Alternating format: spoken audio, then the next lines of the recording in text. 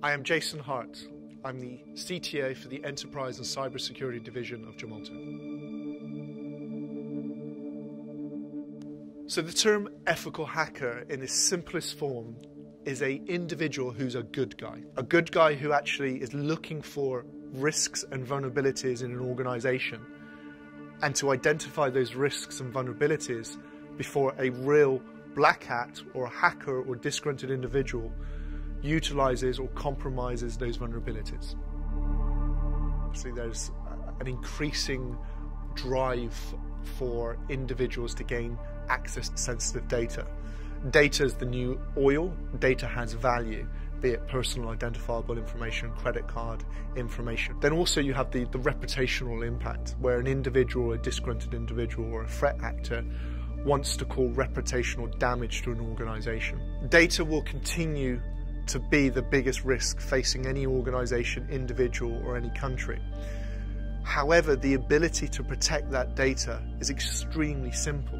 The biggest challenge organizations face is actually knowing what type of sensitive data, where the data is stored, and actually the risks they're trying to mitigate against the data.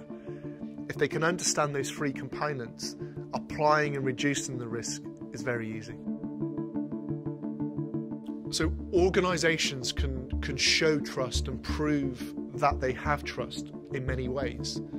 The first one is compliance. So depending on the type of industry, they can prove that they, for example, if it's in, if they're storing credit card data or using credit card data, they can prove that they're compliant to PCI.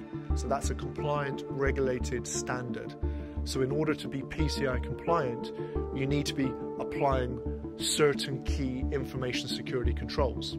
The key thing for any organization to focus on, first of all, is actually to be situational aware. So the first thing is what is at risk in my organization? What data am I trying to protect? In the event of a breach, what would cause the biggest pain? Is it my customer data? Is my credit card data? Is it my intellectual property? What is it in an organization you're trying to protect? Once you actually understand and reduce the scope of what you're trying to protect, then you start applying the appropriate security controls. For any organization in the world we are in today, virtualization, digital transformation, and cloud, you should be really mandatory applying confidentiality and integrity controls. The fundamental basics in doing that is multi-factor authentication, access control, encryption, and key management.